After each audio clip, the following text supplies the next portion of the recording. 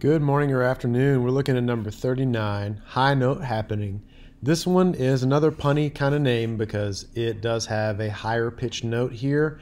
We are playing a high concert D. So that's going to be an E if you play clarinet or trumpet or tenor sax. It's going to be a D for most people. Um, but make sure that you look at the top of the page and it'll show you the fingering for this note. That is really kind of the entire point of this tune. The rest of it just kind of exists so that we can go up to that note.